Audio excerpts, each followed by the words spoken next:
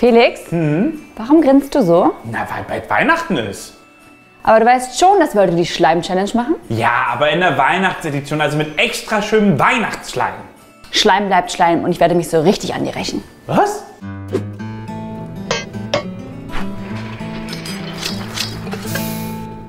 Hallo und herzlich willkommen zu Yam Tam Tam. Heute gibt es eine neue Schleim-Challenge. Wie funktioniert das Ganze?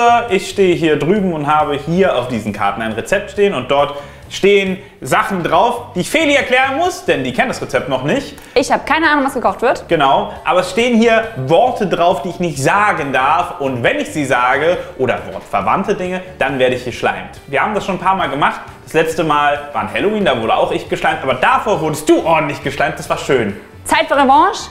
Was muss ich tun? So, ich werde mir jetzt die erste Karte anschauen. Zuerst brauchst du etwas Großes. Dieses große, runde Ding. Alter Felix, das ging schnell. Ich sag mal so, Rache ist Zuckersüß. Ich hab's echt nicht gemerkt, ne? Was ist denn wohl das große runde Ding? Aber erstmal Schleim auf dich. Ja, ich darf dir danach sagen. Aber erstmal Schleim. Leise schleimt jetzt der Schleim. Oh, Oh, ii, das ist wie Kleister das gerade. ist toll. Ich darf dir jetzt sagen, du darfst dir eine Schüssel nehmen. Na, So, fühle mich so richtig braindead heute auch. Zum einen brauchen wir etwas, was man zum Braten benutzen kann, aber zumeist isst man es auf dem Brot. Es ist ein tierisches Produkt, äh, das vornehmlich aus, oh das darf ich sogar sagen, aus Milch gewonnen wird und durch Dampfen zum Beispiel zu diesem neuen Zustand kommt. Ähm, könnte mich ja doof stellen, weil Butter wird nicht aus Milch gemacht, sondern aus Sahne. Aber ich ja, nehme mir aber meine Butter. ist, Sahne darf ich A nicht sagen und B ist das ein Bestandteil der Milch. Komm schon, komm schon. Sie wehrt sich noch.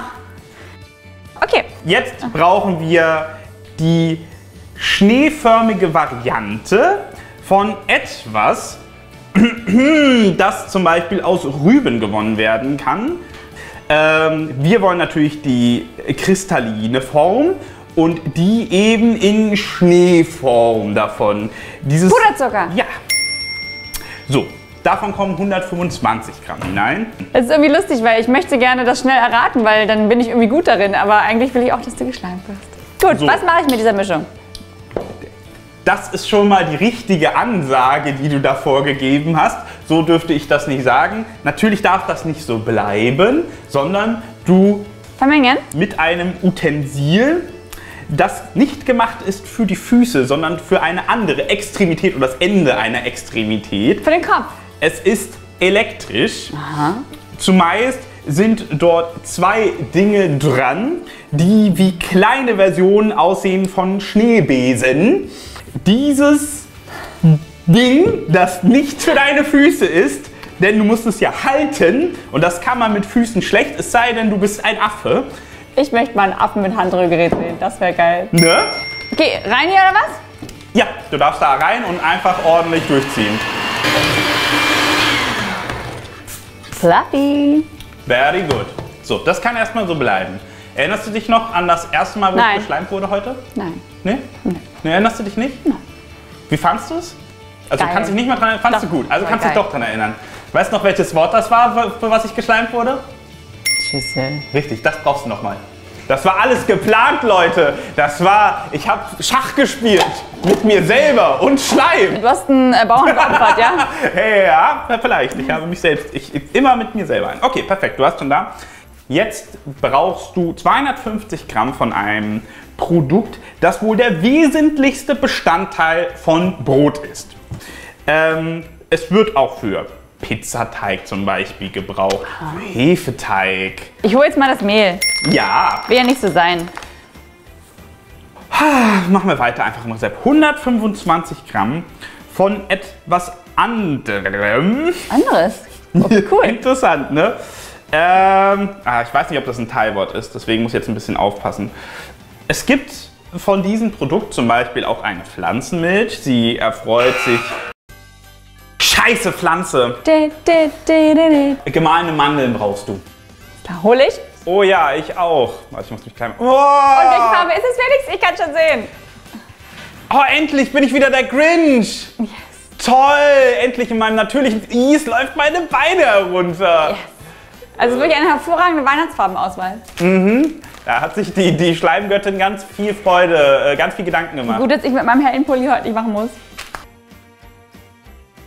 Wir brauchen jetzt 60 Gramm noch von etwas anderem. Ah ja. Zumeist wird es, wie man zu erwarten ähm, denkt, gerne in Kuchen gemacht, in Weihnachtsgebäcke aller Art. Es ist ein, ein, auch eine gemahlene Variante oder eine verarbeitete Variante eines fermentierten Produktes, das nicht in Deutschland wächst, sondern in den Tropen. Und es ist eigentlich nicht süß, aber man kennt es vornehmlich in süßen Produkten. Es gibt sie in Tafelform aller Art, in verschiedenen Bittergraden. Ähm, es gibt sie mit Milch und ohne Milch. Es gibt sie in weiß, vornehmlich kennen wir sie aber in ihrer sehr dunklen Form. Auch ich muss es immer hacken, prinzipiell. So. Ähm, und jetzt hätte ich aber gerne nicht die Tafelversion davon, sondern diese, die man auch gerne äh, trinkt, wenn es kalt wird. Okay, okay, ich erlöse dich. Ich nehme Kakaopulver, richtig? Ja, 60 Aber du Gramm. hast wirklich gut gemacht, Felix. Danke.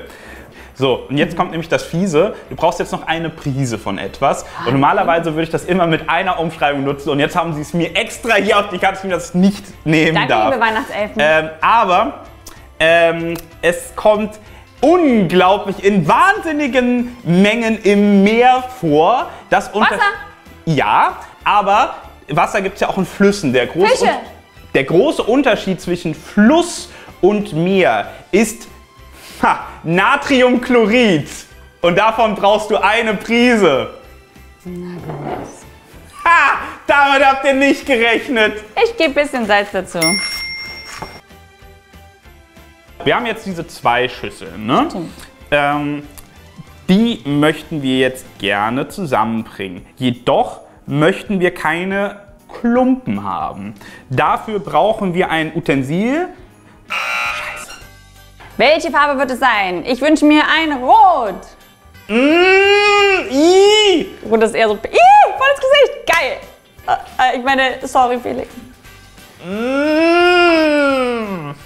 Also, nachdem wir jetzt geklärt haben, dass du ein Siebchen brauchst, ähm, Ich hätte es auch einfach gewusst, aber nein, du wolltest ja unbedingt das falsche Wort sagen. ja, ich wollte unbedingt, ich konnte mir nichts Schöneres vorstellen, als mir rote Schlachse in dieses Gesicht kippen zu lassen. Also, du hast jetzt dieses Siebchen, jetzt bringst du zusammen, was zusammengehört. Jetzt schön reinsieben, richtig? Genau, perfekt, ein Traum. Und ein bisschen was daneben machen. Das gehört schlimm. dazu. Okay. So, jetzt das Ganze. Du hast schon die richtigen Utensilien in beiden Händen. So, und jetzt wirst du damit einfach schön hineinstechen und dann das Ganze zusammenbringen. Mit kreisenden Bewegungen. Und am Ende wollen wir natürlich eine. Ein Ding. Ein Ding, was für ein Ding? Ein Klumpen, der die Welt regiert. Während ich hier knete, könnt ihr vielleicht mal den Abo-Button drücken. Und schaut auch mal bei TikTok vorbei, da gibt es auch viele tolle Rezepte. Weihnachten und auch so. Jetzt muss das Ganze fest werden. So, und damit das passieren kann, darf das, was du da so wundervoll zusammenbringst, Aha. nicht ohne eine Art von Schutz bleiben. Es, gibt so, es gibt so drei Arten von diesen Dingen, die sich in jeder Schublade finden. Das eine ist Backpapier, das andere ist aus Aluminium und das dritte äh, ist quasi wie eine Fensterscheibe, denn man kann auf das Produkt, das dort drin ist, blicken. Äh, ähm, Gefrierbeutel? fast. Frischhaltefolie. Richtig. Okay. Sehr gut. Fantastisch. Ich würde sagen, ich gebe uns beiden mal eine Pause. Dann können wir nämlich mal hier kurz aufräumen. Ja, sehr gut. Du musst das Ding aber natürlich an einem bestimmten Ort Pause machen Am lassen. Boden. Es ist Hier? groß. Nein, nein, nein. Nein. Es ist groß und silber. Es befindet sich von dir aus in der linken Raumecke. Ähm, Links. es ist da, um Dinge frisch zu halten, lässt man sie dort drinne, denn dort ist es eben nicht warm. Es ist weit unter Ich Zimmertemperatur. pack's in den Kühlschrank. Okay, Danke. okay. Okay, kurz aufräumen und dann. 30 Minuten warten. Felix, was passiert jetzt? Schön, dass du fragst. Du erinnerst dich vielleicht noch vor der Pause an die äh, drei Dinge in der Schublade. Das eine war Frischhaltefolie, das andere war Alufolie und das dritte war, ähm, es ist äh, hitzebeständig.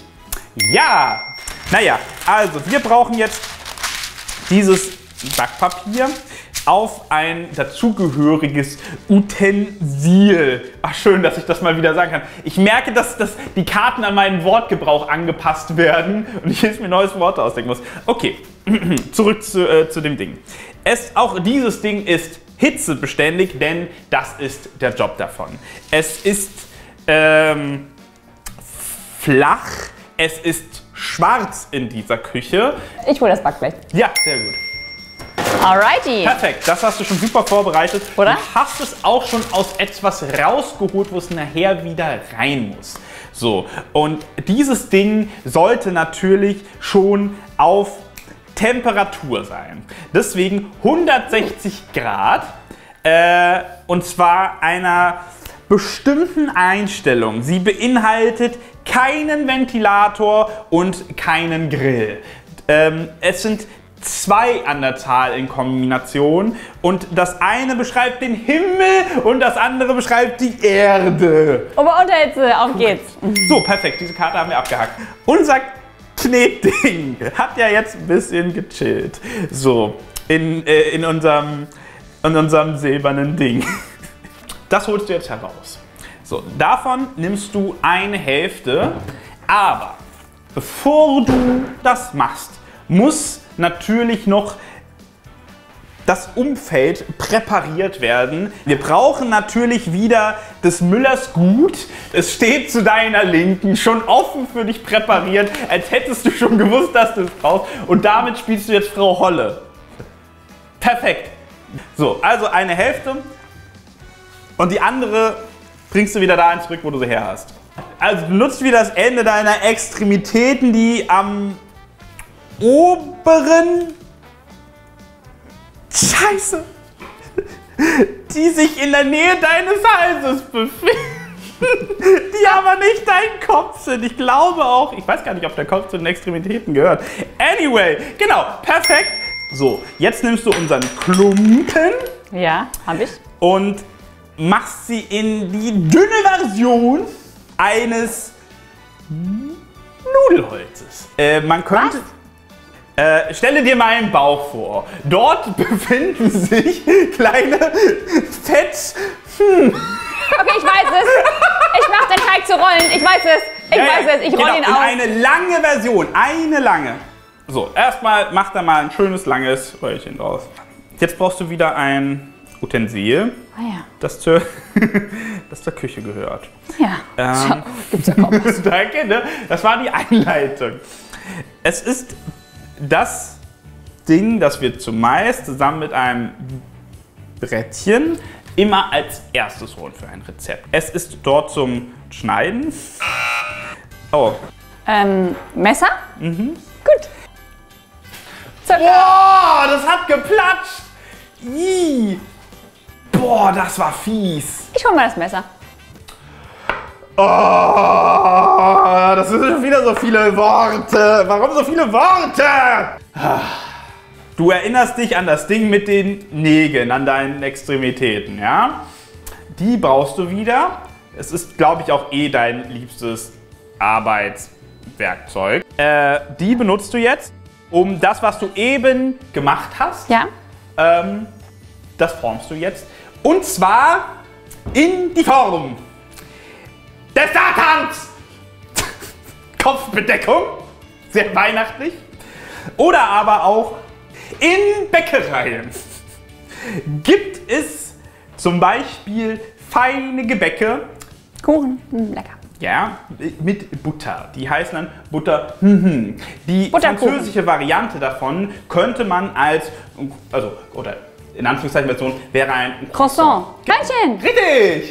Und daraus mache ich jetzt Hörnchen? Du machst daraus kleine Hörnchen und diese kleinen Hörnchen, die haben einen Dialektnamen, der sich aber so eingebürgert hat. Okay, ich mache Schokokipferl. Ja, genau. Sobald du das alles gemacht hast, dann bleibt natürlich das Blech nicht da, sonst ist es ja hoch, äh, sondern du schmeißt das Ganze in das. In den Schleim! Ja! Also, du möchtest es in das warme Ding. Da machst du es rein für 15 Minuten. So, Felix, ich pack das jetzt in den Ofen Ja? und du chillst in deiner Schleimsuppe. Ja! Es ist schön hier. Okay. Ich wisch so lange. Es duftet, Felix. Ja, sehr gut nach Schleim. Nein, nach Keksen. Ah, dann holen sie doch mal heraus. Sind ganz schöne Oschis geworden. Mal sehen, was die Elfen sich da ausgedacht haben. Aber gut, guck dir das an. Oha. Oha. Bist du bereit weiterzumachen? Ich bin bereit. Bist du bereit, ja? Nun denn, ist, ich habe so eine Haarsträhne, die sich gelöst hat und die mir die ganze Zeit im Gesicht rumhängt. Das ist ein bisschen blöd. Eben sagte ich in einer vorherigen Beschreibung, dass fast alle Rezepte bei uns mit zwei Dingen. Zwiebel und Knoblauch klein schneiden. Das, das letzte davon ist entscheidend. Knoblauch? Nein, nein, nein, nein, nein. Das Verb, das du nanntest, das ist entscheidend. Genau. Dafür braucht man ein Utensil und ähm, eine Unterlage, damit die Brett und Messer. Platte- Ja. Also, du erinnerst dich vielleicht noch, als wir den Teig gemacht haben, dort kam ein Produkt vor, das schön zu trinken ist, aber in dieser Form zum Backen da war. Und da sagte ich, es gibt eine Arbeit, die ich immer machen muss. Schokolade hacken. Genau. Es gibt drei zur Auswahl, Felix. Scheiße, ich hatte gehofft, da liegt nur eine. Okay, also, die weiße ist es schon mal nicht. So, jetzt haben wir noch zwei zur Auswahl. Ich möchte die, wo keine Kuh involviert ist. Zeit bitte. Richtig. Perfekt, das hast du ganz außerordentlich schön gemacht. Das darf natürlich nicht so bleiben, weil sonst naschst du das weg. Wir hätten das natürlich gerne in, naja, in einen anderen Aggregatzustand. Um das zu gewährleisten, braucht man natürlich erstmal wieder ein Utensil. Äh, ganz oft macht man da drin zum Beispiel äh, Nudeln, man kann Suppen dort drinnen machen. Ich hole einen Topf. Ja, in diesen Topf.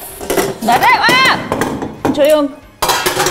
Ja, in diesem Topf. Ja, ja, warte. Nicht dorthin. Ah, na gut, stellst du an. Also, du musst zu einem anderen Ort äh, in dieser Küche gehen. Und zwar, da kommt etwas raus, das ich nachher ganz dolle dringend nötig habe. Äh, man kann es trinken, man kann sich damit aber auch waschen. Es kommt aus einem Hahn und deswegen heißt, und bei uns heißt der Wasserhahn auch Kran, deswegen nennen wir es Kranenburger. Was darfst du nicht sagen? Wasser. Oh, Tannenschleim. Oh, Oh, geil. Weiher. Oh, ins Gesicht. Love it. Boah, ist das kalt. Uh, du Armer. Also, du hast jetzt schon das Wasser hineingemacht. Das war auch wirklich wieder so. Super dumm. Jedes Mal. Jedes Mal. Okay. Also, das, was du so fein gehackt hast, das. Oh, es fehlt ja noch was. Lol. Du brauchst etwas, das aus Glas ist. Wir hatten dieses Wort auch schon öfter heute in verschiedenen Konstellationen. Vorhin hatten wir es in Plastik, einmal in schwarz und einmal in grün. Glasschüssel. Genau. Denn das muss, das darf ich jetzt sagen, auf den Topf. Das hast du ja schon als schön erraten. So, und das, was gehackt, was du gehackt hast, das kommt da jetzt hinein. Wasserbad. Genau. Sehr gut. Äh, aber damit, ach, ich muss gar nicht mehr sagen, du hast Falsch alles. gemacht? Nö, nö, ich muss nur sagen, du hast schon alles gemacht, was du machen musst. Du hast es jetzt reingemacht. Perfekt. Du hast aber auch schon den Herd angemacht und ist alles präpariert. Dann sage ich nichts weiter. Du schmilzt ja gerade etwas in unserem Wasserbad. Sobald es seinen Aggregatzustand geändert hat, kann man damit anfangen, es zum Verzieren zu benutzen. Okay. Dafür brauchst du ein. Nee, eben nicht. Also ja, du kannst ja jetzt zum Umrühren, aber zum Verzieren sollst du ein anderes Küchen. Ja, doch, darf ich sagen. Puh, Utensil benutzen. Ich bin gespannt. Was ist es? Es ist laut Sheldon kein Dreizack, denn der hat nur drei Zacken. Damit befördert man normalerweise leckere Lebensmittel in seinen Mund hinein. So, Na gut, dann ist es die Gabel. ja. So, nachdem du das geschmolzen hast, das dann beträufelt hast, so, dann kommt noch was on top. Okay. So. Boah, das ist auch nochmal so ein fieses Wort. Vielleicht kommt ja noch mal Schleim zum Abschied. Das würde dich freuen, ne? Bisschen. Ich könnte dir auch die warme Schokolade anbieten.